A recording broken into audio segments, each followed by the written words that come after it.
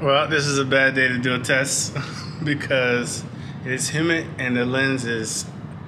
Yeah. So one of the main flaws for the Sony ZV-1 seems to be that it's kind of tight for vlogging purposes. I didn't necessarily get it for that, but I do like a wide angle lens. So I got me the Neewer, I think that's how you say it.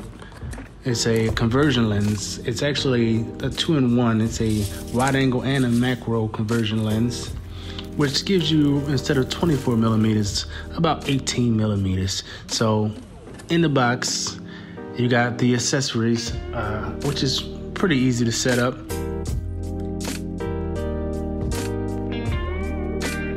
Of course it comes with the mount that you attach to the ZV-1 and it comes with the lens which is like I said it's two pieces. It's a macro and a wide angle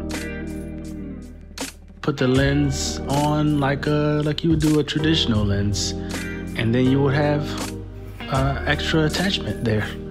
Now, there are some benefits, but we're gonna discover that. Let's find out. All right, here's a handheld test without the conversion lens, and then I'm gonna switch it over.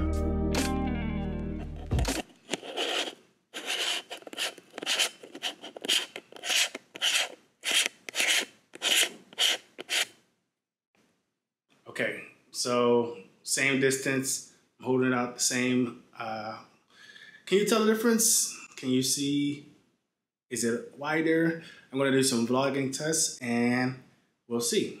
We'll see what we think about this. Okay, I'm gonna try again to give my conclusion to this video. Uh, it's less humid today, but uh, I'm also as late because I just got off work. Work 13 hour shifts, so give me a break. So there's two things about this conversion lens that I can see as a con.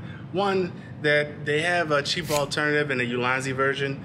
I don't particularly like the uh, adhesive that goes on the lens mount. That's why I didn't get that one. But this one is uh, $75 on Amazon. So that could be a con, it could be a little overpriced. The other thing is once you put this conversion lens onto this camera, then it's no longer pocketable and that kind of also defeats the purpose.